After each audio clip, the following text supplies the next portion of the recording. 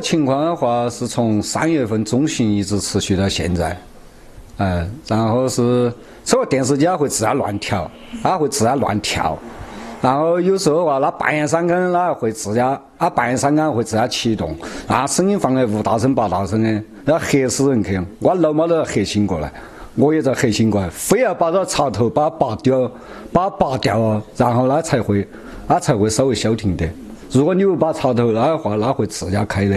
哦，昨天一也也，我看好像是一两点钟嘛，都开始都大声呼气，都一发誓都那个起来把我吓得哟，你不晓得。天，我说是搞啷鬼，我说是撞会撞闹哄哄，搞半天是我演电视，你说嘛？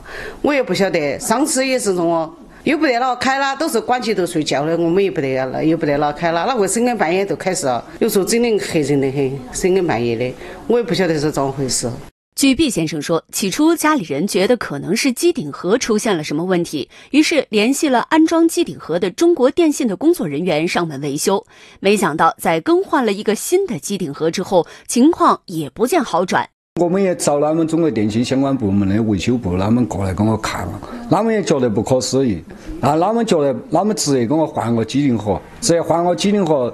哎呀，是啊，好两天的，好两天又开始，又开始了，然后。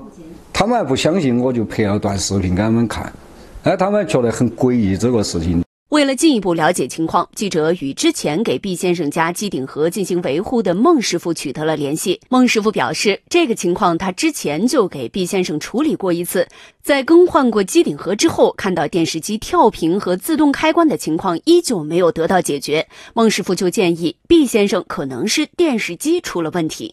这个我当时给他解决方式，我给他讲过，我说的是第一点，如果说这机顶盒坏了哈，呃，那么我给你进行更换，呃，就说他原本他说的是机顶盒不太好，那么我给他换个新的。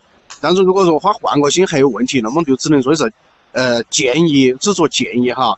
那么呢，这个修电视机师傅来检测一下电视机具体内部的一些系统或者说安啊线路问题。我们这边。电信它没有权限去远程操控，说的，呃，你的电视机我给你开，我给你关。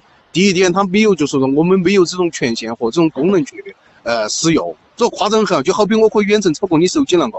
跟记者通话结束后，孟师傅也与毕先生取得了联系。我说你们没得这个权限，那么你们就请请教下你们的上级，请教下你们上面的技术专家，到底是怎么回事才会出现导致这种问题的出现。